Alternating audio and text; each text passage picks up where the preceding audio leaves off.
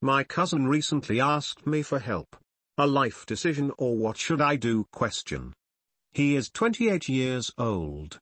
Lives with his parents still. He is in debt. Works part-time for a big box retailer. He is massively obese. His expenses are $500 a month. His boss gave him the opportunity to go full-time.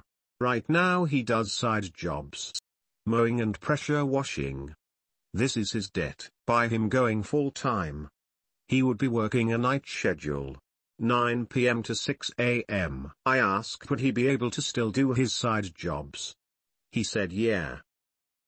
I mow or pressure wash on Saturday and Sunday. So, I told him, to take the full-time job. Pay the credit card debt off first. At the end of the year he would have roughly $1,600 saved up from going full-time. He then would pay off the car, leaving him the dentist bill. I was met with a huge no. I don't get it. Use the opportunity now with going full-time to pay off the debt faster. He states that would be hard to find the time to work out and lose his weight. It is clear to me what to do. He doesn't see the big picture. Should I give up? LOL. Adversity is sometimes hard upon a man, but for one man who can stand prosperity, there are a hundred that will stand adversity. Thomas Carlyle sounds like he's too comfortable to change because you can get tripped working out just a few hours a week CPD Mangan or Dorian Yates or Mike Mentzer. I wouldn't give that emotionally invested in someone who isn't ready to change. Those people sap your energy and they provide bad ROI for your efforts. But at the same time, people eventually cave to peer pressure. You could just text him once a week saying still hitting the gym, fate ass. Or wouldn't you like to get laid again? Though the point isn't just to be mean, the point is to get results. It's a very useful skill to learn how to get people to actually push themselves. Persistence plus adaptation equals results TLDR.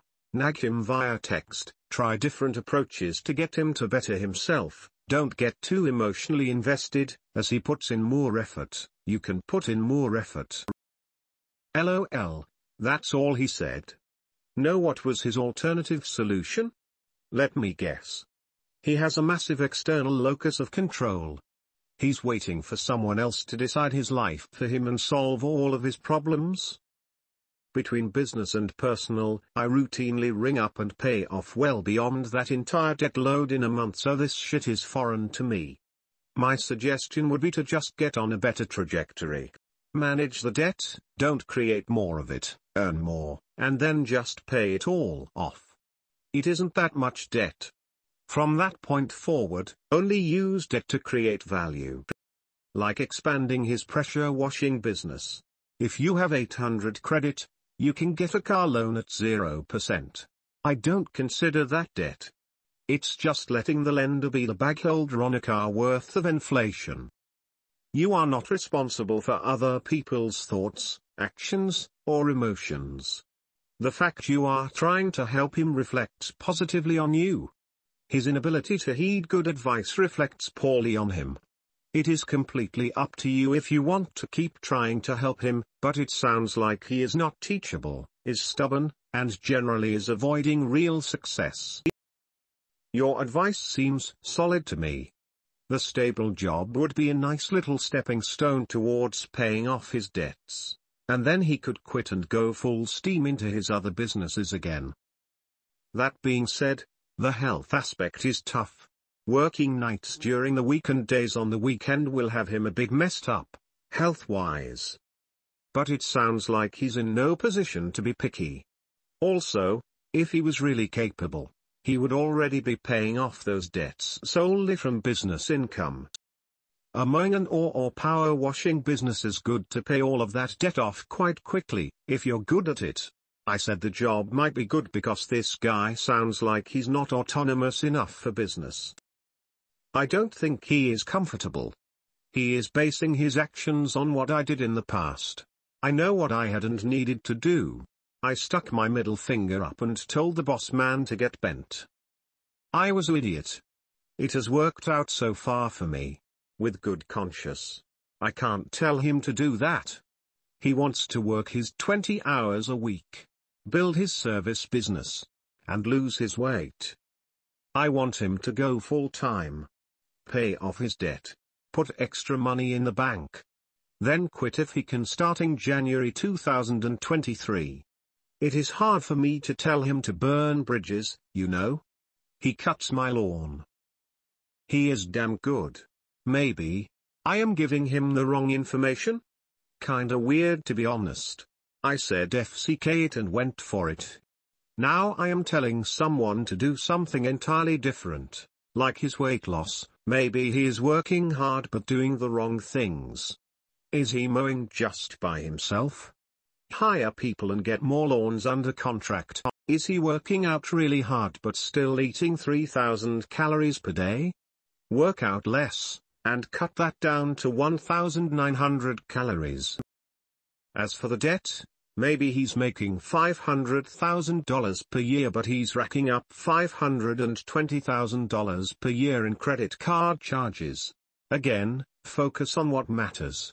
Working hard working smart equals results gotta work on the right things. Here is another deal though.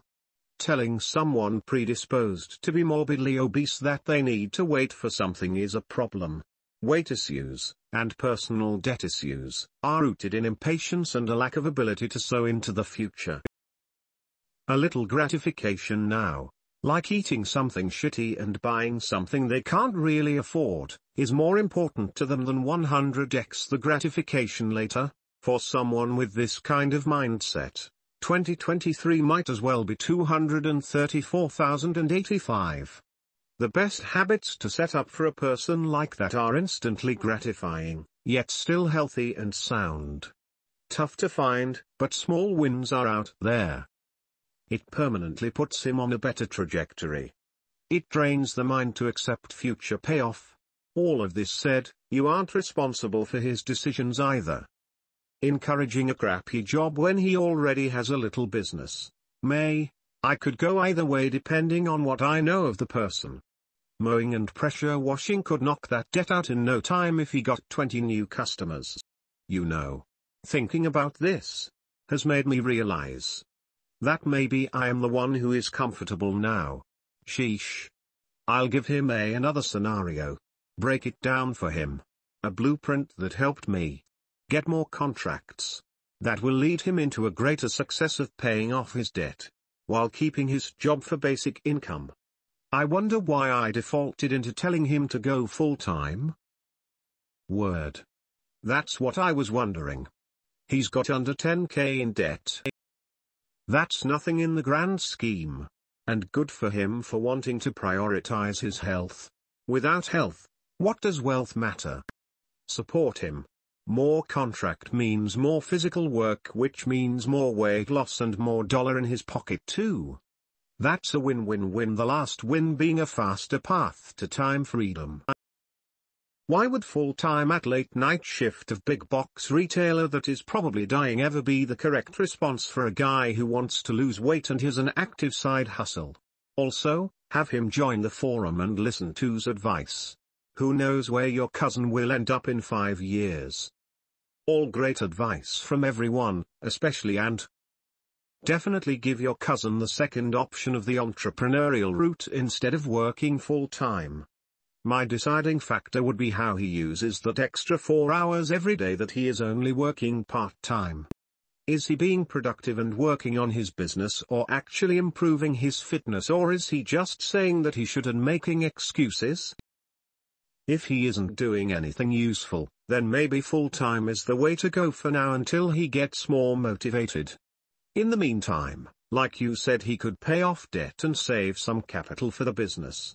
If he is doing useful things, then if you are feeling generous, maybe along with the second option, tell him to give you weekly updates of what he is doing, and hound him if he doesn't give you one on his own.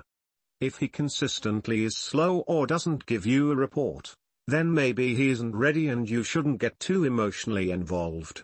Kak nailed it above, he needs small wins.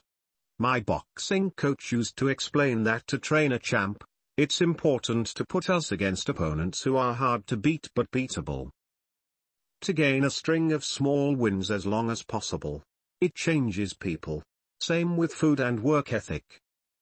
Support him but only if he welcomes your support.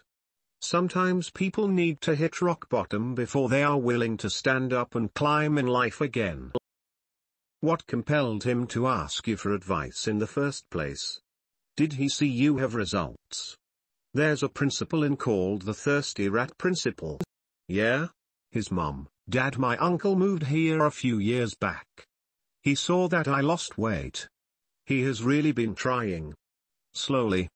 But surely, he recognizes that it won't happen overnight. Planet Fitness was his go-to gym. He got a bit upset when they were coming up to him with free food. Oh boy. I remember that day. He now uses my home gym. Which works out for me on days I need a spotter. Just tell him to try an app called Muscle Secret it's a lifesaver and it should help with his obesity problems then spent more months to lose weight fast, before switching to slower weight losing schedule and moving to full-time chicken breast and lifting for four months. No excuse then. Small win to start the momentum. Personally I find night shift too damaging to the long-term health to worth it. What is the example of the parents? If they have a similar attitude about work ethics, of course, he believes it is acceptable to do what he is doing? Also, depends on them setting the boundaries of what is appropriate and not appropriate behavior. I would assume if he likes doing what he does, you can teach him to build his own business off it and work full-time and expand what he's doing now. Maybe instead of changing his course, just expand his course in entrepreneurship. Everything happens in its own good time. You got a big no. But, that's not the end of the conversation. From his reaction, he heard you. Maybe your advice just needs to marinate for him. He hasn't really thought about how changing his situation could get him out of his problems, or his stuck feelings. Just be there for him and carry on. When he's ready, he'll ask you the whys and hows.